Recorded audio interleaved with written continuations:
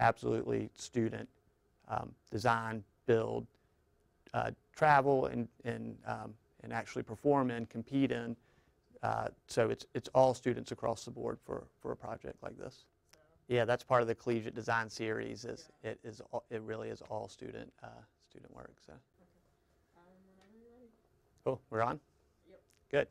Uh, so my name is Chad Eckery. I am the project manager for Formula SAE Electric here at UNCA.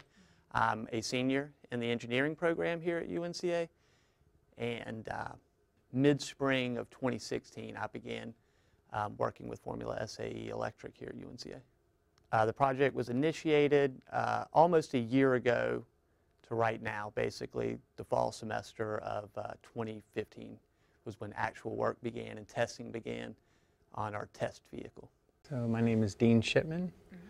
I'm the uh, president here of the SAE uh, student chapter, the Formula SAE Formula S. Electric, yes. That's the division that we're in. There are a few divisions, and uh, we'll, be, we'll be competing in the electric division.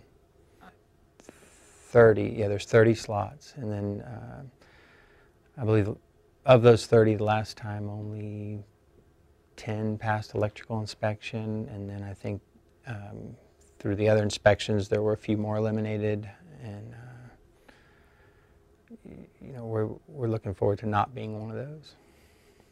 The electric racing is definitely taking off. Uh, at first, I, as far as racing was concerned, I thought, oh, combustible, you know, that's electrical never catch up.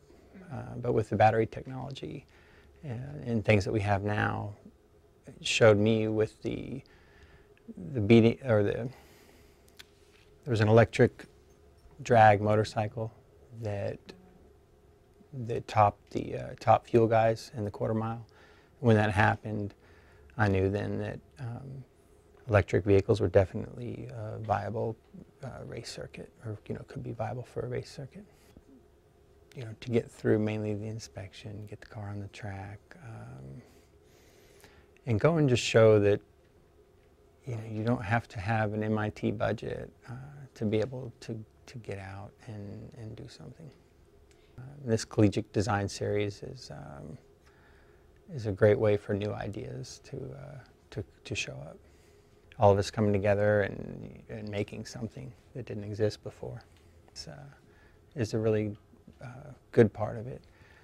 But when we get together after many, many long nights of, of working, doing design, prepping the, the test vehicle, and in the future it'll be prepping the actual competition vehicle, when we get to take the car out and as a team have fun, and uh, a lot of it's blowing off steam, but also just driving the vehicle that we've produced and um, developed throughout all this time, it's, it's highly satisfying to, to know that we here at UNCA have developed the skills to be able to, to create our own vehicle from scratch, basically. So every time we get to do that, it's more and more rewarding. It's, it hasn't gotten less fun to, to take the vehicle out and drive at any occasion. Awesome. Thanks, y'all.